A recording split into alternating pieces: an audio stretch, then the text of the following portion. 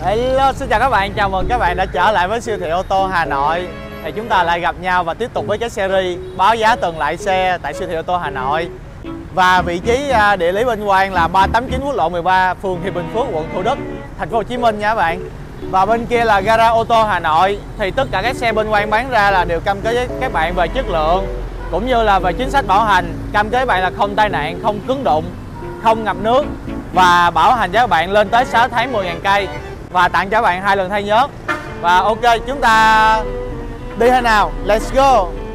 Ok và con xe đầu tiên quan giới thiệu với các bạn đó chính là VinFast Fadil bản Plus sản xuất 2020 đang có chương trình khuyến mãi cho mẫu xe này là bên ngoài đang bán với giá là 365 triệu nha các bạn.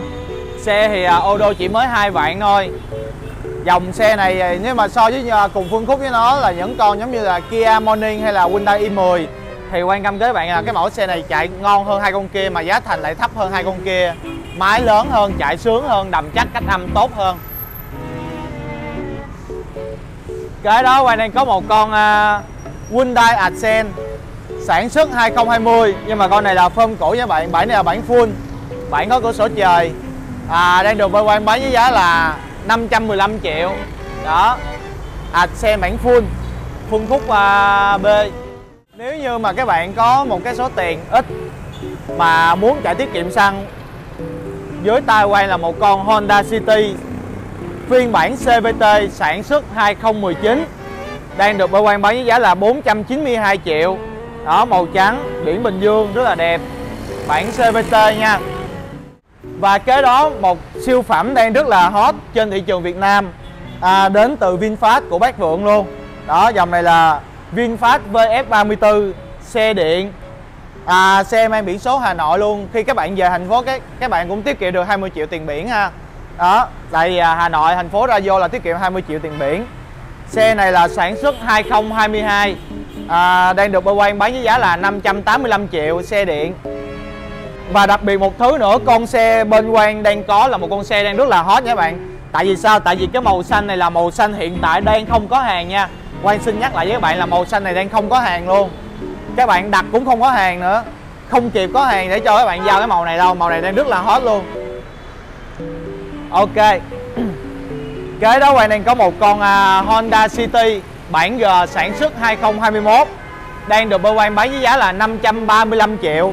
City form mới bản G ha. Nhỏ biển số thành phố luôn các bạn. 91992 Biển số dễ nhớ. Kế đó một con xe các bạn thích một con xe à, full công nghệ nhưng mà giá thành nó chỉ bằng một con City thôi. Bên hồng quang đang có một con Lexus Đài Loan ha. Đây là nói vui là Lexus Đài Loan. Tại nó cũng là mang chữ L luôn con này là Luxgen à, đến từ Đài Loan. À, rất là nhiều công nghệ luôn có cả hắc kiến có cả la thục thò có cả uh, cửa sổ trời luôn. Đó giá thì chỉ mà 435 ờ, triệu thôi. Bản này sản xuất 2015, con này là U6 2.0 turbo nha các bạn.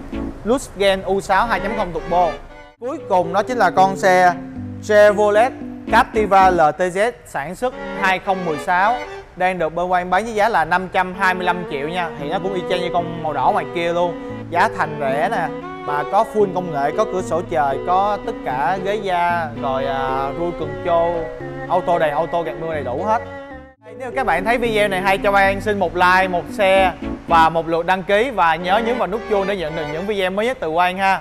Và một điều nữa đó chính là bên Quang đang cần mua rất là nhiều ô tô nha. À, nếu các bạn có xe thì cứ liên hệ cho Quang nha. Và cảm ơn các bạn đã quan tâm theo dõi cái video này. Hẹn gặp lại các bạn ở video sau nha.